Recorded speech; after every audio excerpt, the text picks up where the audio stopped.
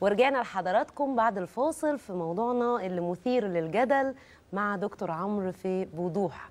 آه، مع ضيوفنا إيه ما اقتنعتيش. محمد. بعد كل اللي حصل ده ما اقتنعتيش. لا إحنا لسه زي ما انت في متمسكة نماذج بقى. عندنا مختلفة. طيب. دكتور محمد وزوجته. مدام ياسمين. مدام ياسمين. وأستاذ أسامة وزوجته مدام مدام نسرين. نسرين إيه بقى؟ موافقين مع صداقة المرأة الرجل ولا معترضين؟ هقول لحضرتك. والعكس. أيوه مظبوط. هقول لحضرتك على حاجة.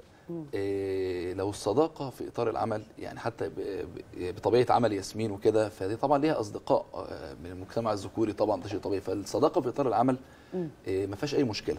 تمام. لأن هي برضو متقبلة نفس الشيء بطبيعة عملي إن ليا صديقات كتيرة بطبيعة عملي وهي يمكن شافت مواقف رجولة كتير من آه. صديقات ليا آه، في عموما في مجال عملي يعني في على كل السنين يعني إحنا متجوزين بقى لنا تسع سنين وشوية قوي يعني فمتقبلة الوضع. وهي نفس الحكاية بتقول لي فلان كلمني النهارده في الشغل بطبيعة عملها والوضع كذا كذا كذا كذا مثلا عندنا بكرة في مواضيع مهمة. إيه برضو مثلا ساعات بتيجي تكلمني بتقول لي في حد من الأصدقاء عندك على الفيسبوك بعت لي آه، ده تعرفه كويس اقبله ولا لأ؟ هي لو عارفاه وقابلته قبل كده أوكي بتقول أنا قابلت كذا كذا على الفيسبوك. حلو جدا. إيه يا دكتور؟ عمرو بقى المشكلة في الحاجة الجميلة دي. دلوقتي حضرتك لو الدكتور محمد خد زبونة من زباين العيادة بتاعت السنان بتاعته تمام. الأسنان. أيوه. تمام. ولقيتيهم قاعدين في كازينو هنا بيشربوا ليموناته مع بعض. دي مش وقال صداقة ممكن. تسكتي لو مش سمحت صداقه وقال لي دي صديقتي وكانت معايا في المدرسة. قابلتها فعزمتها على ليمون لو قهوة مش هبقى متضايقه لو لو لأي مدى؟ بتقبلي إن ممكن يكون في علاقة لي مع صديقة خارج إطار العمل؟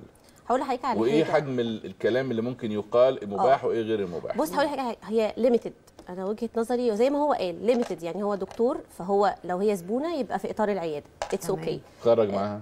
خرج معاها أكيد عنده أسباب. هسمع الأسباب. برافو عليك. مش ه... مش هعترض. هقول لحضرتك على حاجة كمان. هي ثقة. أنا شايفة إنها ثقة جدا يعني. قال لي قال لي دي. صديقتي قال لي أنا خارج.